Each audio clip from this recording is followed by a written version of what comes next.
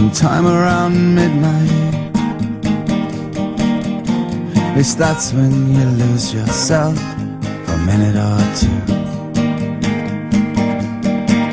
As you stand under the bar lights, and the band plays the song about forgetting yourself for